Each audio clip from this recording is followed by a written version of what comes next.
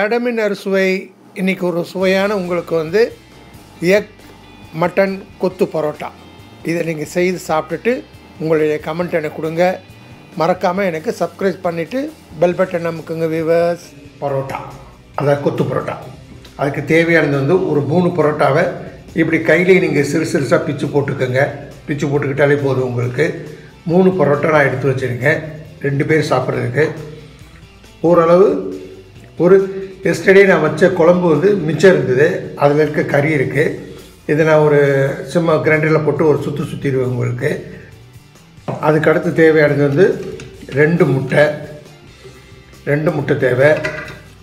மூணு பச்சை மிளகாய் வேணும். கொஞ்சம் கொத்தமல்லி வேணும். ஒரு வெங்காயம் வேணும். ஒரு தக்காளி வேணும் உங்களுக்கு. இதை விவசாயம் செய்யும்போது இந்த வெங்காயத்தெல்லாம் நீங்கள் பொடிசாக அரிஞ்சு வச்சுக்கணும்.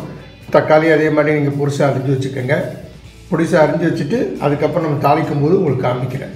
இதுக்கு வேறு எந்த மசாலாவுமே இல்லை வியூவர்ஸ் ஏன்னா ஏற்கனவே நம்ம வந்து மசாலா போட்டு அந்த கறி கிரேவி பண்ணி வச்சுருக்கோம் பார்த்தீங்களா?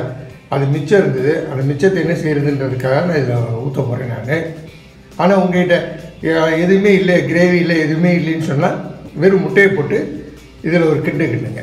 தேவையானது வந்து வெங்காயம் தக்காளி பச்சை மிளகா கொத்தமல்லி. இதுதான் தேவையே தவிர கண்டிப்பாக உங்களுக்கு வந்து லெஃப்ட் ஓவர் மீட் இருக்கணுன்ற நெசசிட்டியே கிடையாது உங்களுக்கு. அதனால் நீங்கள் ஃபாலோ பண்ணுங்கள் இது ரொம்ப டேஸ்ட்டாக இருக்கும். மார்னிங் பிரேக்ஃபாஸ்ட்டுக்கு வந்து ரொம்ப அட்டகாசமாக இருக்கும். பிரேக்ஃபாஸ்ட்டுக்கு வச்சுக்கலாம் நைட் டின்னருக்கு வச்சுக்கலாம் எப்போ வேணால் வச்சுக்கலாம் உங்களுக்கு. இது ஒரு முறை நீங்கள் செஞ்சு சா சாப்பிட்டு பாருங்கள் இது சட்டி நல்லா அடுப்பில் ஏற்றி நல்லா காஞ்சிருச்ச சட்டி இப்போ நான் எண்ணெய் ஊற்றுறேன் உங்களுக்கு. எண்ணெய் சுமார் ஒரு ஐம்பது எம்எல் எண்ணெய் ஊற்றுங்க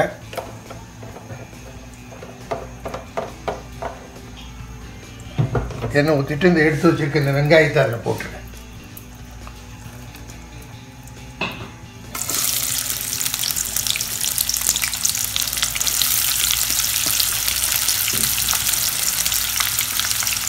இப்போது வெங்காயத்தை போட்ட கையோடு நீங்கள் பச்சை மிளகாய் இதில் போட்டுருங்க.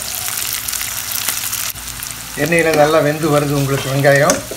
கொஞ்சம் நல்லா கொஞ்சம் நேரம் இருக்கட்டும் வெங்காயம்.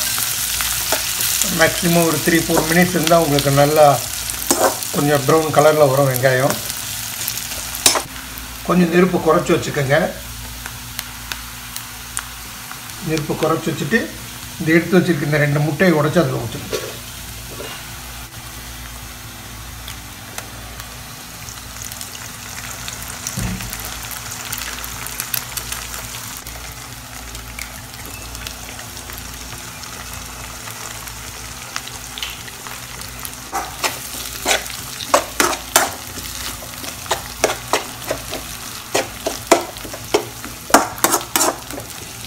இப்போ தேவையான அளவு உப்பு போட்டுருங்க. இந்த டைமில் வந்து ஒரு ஹாஃப் டீஸ்பூன் உப்பு போட்டுருங்க.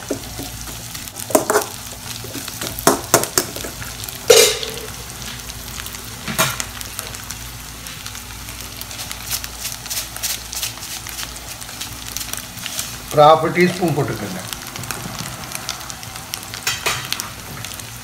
அது அதுக்கு அடுத்ததை எடுத்து வச்சுருக்க இந்த தக்காளி இதில் போட்டுருங்க.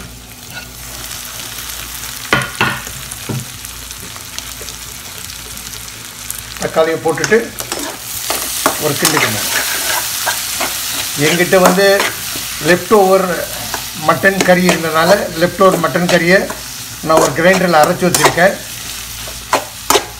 உங்கள்கிட்ட இல்லைன்னு சொன்னால் பரவாயில்ல. இந்த முட்டை இருந்தாலே போதும் உங்களுக்கு வேறு எதுவுமே தேவையில்லை.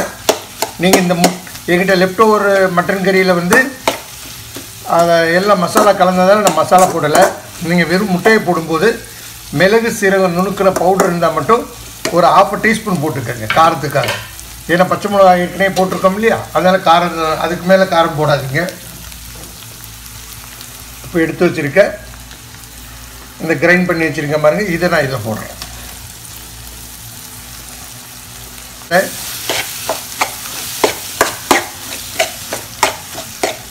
இது பிள்ளைங்களுக்கு செஞ்சு கொடுங்க.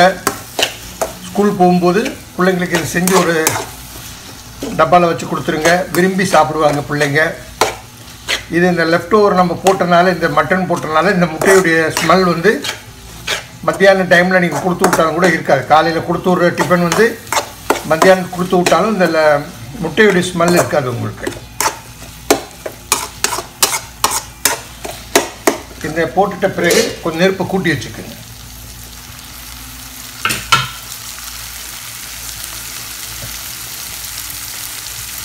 இந்த கிரைண்டரை கழிவு இதில் தண்ணி எடுத்து வச்சுருக்கேன். அந்த கறியை அரைச்சோம் பார்த்தீங்களா? அந்த தண்ணி. சும்மா லைட்டாக கொஞ்சோன்னு இதை இதில் ஊற்றிடுங்க ரொம்ப டேஸ்ட்டாக இருக்கும். நல்லா செஞ்சு சாப்பிடுங்க உங்களுக்கு. என்ன லெஃப்ட் ஓவர் இருந்தாலும் சரி உங்களுக்கு இதாக இருக்குன்றது இல்லை. ஒருவேளை உங்கள்கிட்ட இட்லி மிச்சம் இருக்குது இட்லியை போடுங்க. ஒரு பிரச்சனையும் இல்லை. இப்போ இந்த எடுத்து வச்சுருக்கேன் இந்த பரோட்டா இதில் போட்டுருங்க.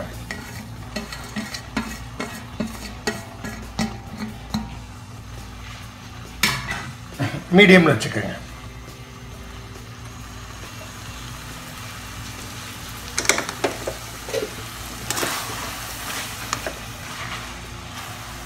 லைட்டாக அப்படியே ஏற்கனவே உங்களுக்கு நல்லா பிடிச்சா தான் நான் நறுக்கி வச்சுருக்கேன் உங்களுக்கு பரோட்டாவை.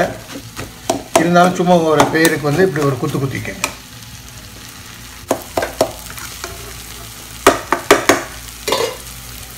அதுதான் யூஎஸ் கடைசியாக இருந்து கொத்தமல்லியை தூவி விட்டுட்டு அடுப்பு ஆஃப் பண்ணிட வேண்டியதான் உங்களுக்கு. அருமையான மார்னிங் பிரேக்ஃபாஸ்ட் உங்களுக்கு ரெடி நீங்கள் செஞ்சு சாப்பிட்டுட்டு உங்களுடைய கமெண்ட் எனக்கு கொடுங்க. எக் மட்டன் கொத்து பரோட்டா ரெடி பார்த்துக்கோங்க. இப்போ நம்ம சாப்பிட வேண்டியதாக விவஸ் இதை சாப்பிட்டுட்டு உங்களுடைய கமெண்ட் எனக்கு கொடுங்க. மறக்காமல் எனக்கு சப்ஸ்கிரைப் பண்ணிவிட்டு பெல் பட்டன் அமுக்குங்க இந்த வீடியோவை கடைசி வரைக்கும் பாருங்கள் முதல்லேருந்து கடைசி வரைக்கும் பாருங்கள் எந்த டவுட் இருந்தாலும் எனக்கு நீங்கள் கமெண்ட் பண்ணுங்கள்